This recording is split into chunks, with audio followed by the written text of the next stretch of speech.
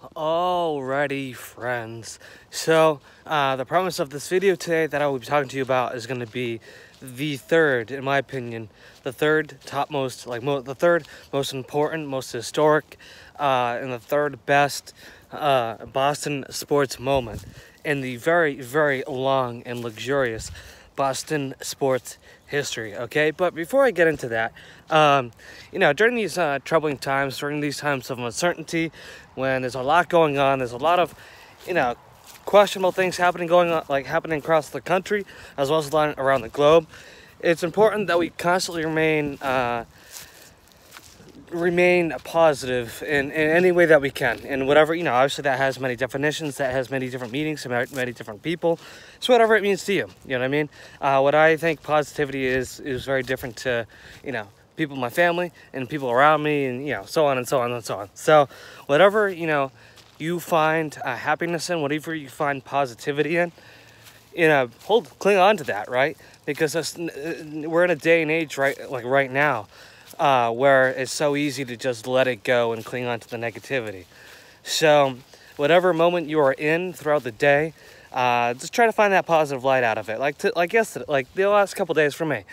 Okay, you know I do find enjoyment just taking the drive to go get my coffee. I find you know enjoyment seeing all the people that that are out and about. Uh, it's exciting for me to see you know all those people you know wanting wanting life to get back to normal um, and you know, I also love getting love coffee, so I mean, uh, why wouldn't I be excited about that? So that's a positive moment for me. And yes, and then yesterday, uh, it was like right around this time yesterday, I went for a run. Okay, I went for a two mile run. Uh, you know, it was nice being able to just go, like just run, let out some, like let out whatever kind of steam, get some great exercise. And it was perfect weather for it too. It was uh, cloudy. Uh, there's a nice breeze going through. It was a tiny bit humid, but the uh, humidity is nothing like it is today, which which was good. Uh, but I will admit I am like super sore right now because that was the first time I ever ran in quite a while. So uh, I'm definitely feeling it right now, but it's okay. Okay, because this is again another positive moment where my body's telling me like, okay, you know, I need to rest. You know, I, I still need to move around a bit, a little bit, you know, to alleviate my muscles, but you know, it, it, it's it's okay to take a break. It's okay to take a rest. It's okay to hit the pause button, the stop sign, whatever whatever you want to call it. Okay, because we definitely live in a day and age, right, where our society is just constantly, you know, in that go go go mentality, right? Where it, especially you know us younger folks, I see it in myself all the time, where it's like, okay, if I'm not doing like 10 million things right now, what what am I doing, right? I've got to be doing so many things right now. And if I don't get those 10 million things done today, then it's been a bad day. It's like, no. Okay? It's it's we shouldn't live like our lives like that anymore, okay? And honestly, I think it's a terrible way to live. Um you know, we got we got to look around us. We got to see the beauty in every in the simple things, okay? And not just, you know, being happy with the amount of you know money we made or the amount of the amount of videos I made today, the amount of videos where I talked a ton and so on and so on and so on. I mean, I, I like doing this. This is, has been a lot of fun to me so far. But at the end of the day, it doesn't really matter. It's okay. Like, okay, did I talk without you know with the people I need to talk to today? Did I make sure they're doing okay? Did I make sure they're you know they're getting through this, okay? Like it's all about getting through this together. As again, back to whole the whole sense of community. Um, this is a community effort. We've got to be in this. We've got to be in this game. And guess what? You know, at some point or another, you're gonna realize that we're all in this game of life together, whether you like it or not. Okay. Uh, I've had the blessing to be able to find that or, or out. Uh, I've been ha I've had the blessing of being able to find that out early on and once I realized that, you know, we're, we're not alone in this journey, you know, because we, we do, we, we really do rely on each other. We need each other, especially now more than ever. So, you know, uh, I hope, you know, I, hope I can bring that to your guys' attention. And that's how, this, that's why I started, essentially started this video because I find uh, my peace, I find my joy, I find my community, and I want and I, I see all that in sports, okay? And that's why I love sports and that's why I keep talking about sports is because, you know, I really do believe that sports is a great way that brings out the best of us, the best of us, right? And I feel like I really feel like sports is able to bring out the community in ways that nothing else really does. And that's that's why I love the industry. That's why I want to go into the industry. And obviously, eh, eh, again, everybody, each and every one of us are so uniquely different, which is awesome. So you know, every everybody has their own form of opinion about community and being together and being, you know, relying on each other and yet and so on and so on and so on, right? And so, you know, I, I encourage you and I challenge you to, you know, spend, you know, even if it's two minutes, just reflect for two minutes, be like, hey, where do I find, you know, my peace, my joy, my blessings? Where do I find my community, right? Is it, you know, is it sports, right? Or is it dance? Is it music? Is it volunteering? You know, stuff like that, right? Where do you find your community? Where do you find your joy and all that stuff, right? And pursue that 100%. Once you once you reflect about it, once you are like once you pinpoint like, "Hey, I love I love sports." Pursue that. Attack it. Go for it. Okay? Re watch sports, research sports, talk about sports, you know, and just just dive right into whatever it is that you may find your sense of community in okay? And and then reach out to people as well okay? This is a great time to research you know your your, passion for something okay? If, if you're passionate about something look into it research it reach out to folks within that area okay? If you're if you're into medicine if you're in, if you're you find your community in like you know medicine or science or whatever okay okay so take take science okay? Obviously like uh, earlier uh, like last week earlier in the week you know we had um, the big space launch okay? So if you're really into space and rocketry and you know engineering and all that reach out to somebody at, at nasa or at spacex. Be like hey do you have 10 minutes on thursday you know to talk okay? Because you know the more information you can find out about something that you're interested in the better and the better person it's going to make you. It's going to make you more of a well-rounded person. And guess what? And that's the, if that's the type of industry that you want to work in someday guess what? That's going to look a heck of a lot for you okay? It's going to look a heck of a... sorry I, that came that i mixed my sentence around. That's going to look extremely well for you okay because it's going to show that person that you talk to like hey you know you're really interested about, about what we do and hey it could lead to, uh, to a, a job here um, at SpaceX okay? And that's what happened to me the other day okay?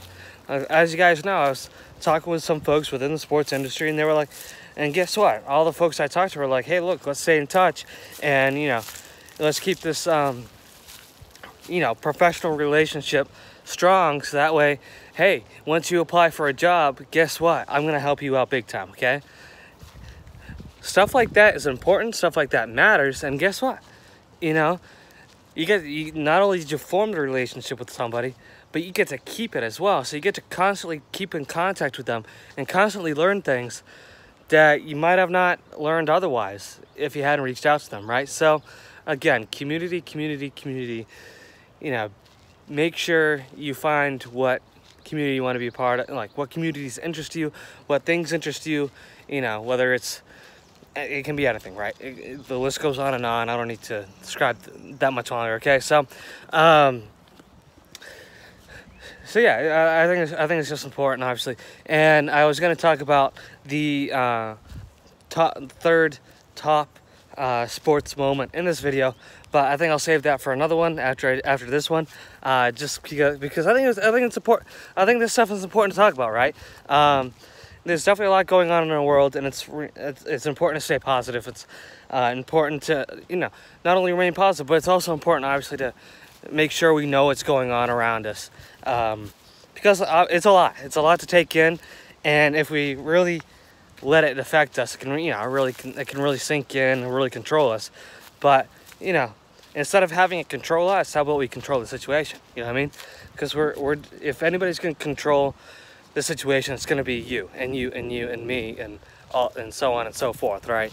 Okay, and if we let let it sink in and then do nothing, then how? What's the point, right? I mean, if we if we think we can think about stuff, right? But if we think about stuff and do nothing about it, then what what's the point, really, right? I mean, come on, we're better than that. You know what I mean? I mean, we're a country big, uh, built on big ideas, and then you know those big ideas, you know, led, led to people acting on it, and then guess what? Now we're the United States of America. Okay, that's how that's how we became a country. Is you know, somebody had, you know, some folks had oh a dream. Some people had a vision of what this country could be, and guess what? They thought about it, they made a plan, they went out and they did it. So that's the big thing too. Like I see so many, you know, there's a lot of leadership positions that I've been in, um, in high school and in college uh, so far, where a lot of great, awesome ideas came to me at like to, came to the table. I loved them. Okay, I thought they were fantastic ideas. So myself and maybe like a couple other folks, we came up with an idea, like like an idea plan, an ideas sheets. Okay, like an idea set, right? Of how to make those ideas, those dreams, a reality. Okay, and and and what was frustrating too is once we made that a plan, once we made that plan, I like presented it, and I was like, "Hey guys, here you go. Here's all of your ideas that you had. Here's an uh, here's a plan of how you know I personally think it's gonna work." Okay, and what I want you guys to do so I want you to take this plan that I made. I want you guys to edit it. I want you to make it the group's vision, not just mine. So that way, like soon, we can ex we can execute it, right? We can make it happen. Okay, we can knock it out of the park. So by so pretty soon, you know, this is this whole idea chart that you guys essentially envisioned be, can become a reality. And guess what? I soon it was it was super frustrating for me because I thought it was great. I thought it was great. It was obviously group effort, um, putting everybody's hopes and wishes in, onto one sheet. And, you know, that's the tough thing about leadership, right? Is that sometimes you can think you can have such a great vision and, you know, and then once you bring it to the table, you know, and once I brought that vision to the table, everybody looked at me and they're like, nah, we, we don't like it and we don't, we don't want to do anything about it it was super frustrating to me, right? Because, you know, I kind of looked at them, more. I was like, look, you know, this is everything you guys wanted, so what do you mean no? And it was clear to me that, you know, they had other things on their tables that was much more important than that group in particular. So I was like, okay, you know, it's pretty clear that, you know, I'm, I'm not needed in this particular area. So I was like, you know what, I'll just remove myself and I'll, I'll get, I'll go get some new I'll go, you know, involve myself with other uh, leadership opportunities that clearly need my expertise and will clearly value my expertise, my leadership skills much more than this particular group will. So, you know, obviously, you know, there will be troubling times, you know, in your leadership careers where, you know, things, some things are just not meant to be. Uh, and it's, it's frustrating, don't get me wrong. But there's this awesome quote, it's, uh, that I've read, and it's, I, I have to remind myself literally constantly, all the time. It's grant me the serenity, accept the things I cannot. Grant me the serenity. Grant me the serenity to accept the things that I cannot change. Because this is just things that you will never be able to change, right? Like like what I just told you about a little while ago.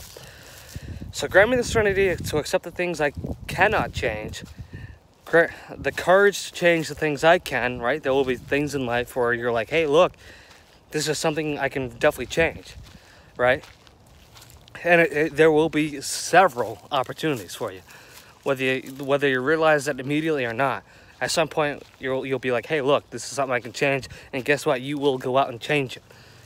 Okay? There's a and there's plenty of opportunities right now for all of us you know to go out and act on you know being able to change things. So grant me uh, grant me the courage to change the things i can and then the wisdom to know to know the difference okay?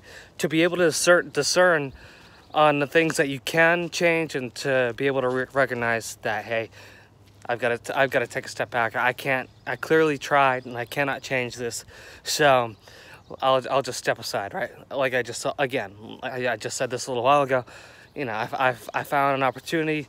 I thought I could change it. I tried it, and it was very, very clear that I could not change it. So um, I was uh, at peace with the idea that I clearly couldn't. So I, ste- I stepped aside, right?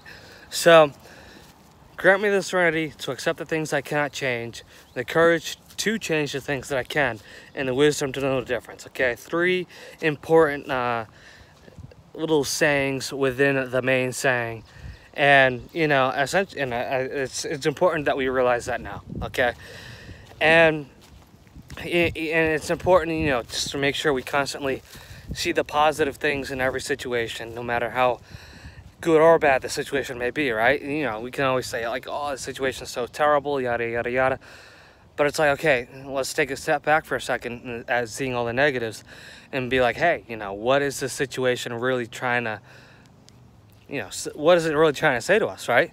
Okay, so even if it's just one little positive thing, you know, it may be it may be diff difficult, right? It may not be, you know, the greatest positive note ever, but if it's a positive note, it's a positive note.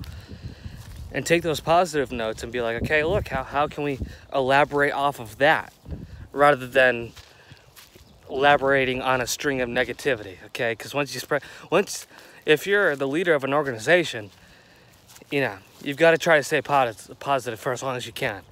And as, as soon as the CEO or a leader of an organization starts acting negative, then guess what? It it's a major ripple effect throughout the rest of the organization. So before you know it, you know, you just made everybody in the organization extremely negative. negative and guess what? They don't really want to work hard anymore which there therefore leads to a failing organization. And guess what? See ya. That that business is done. Okay so you know it, it's important to realize that no matter if we're a leader of an organization or if you got or if you're a person just like me you know trying to make change right it doesn't matter where you are at life it doesn't matter where you are at your in your professional career or you know on and on and on.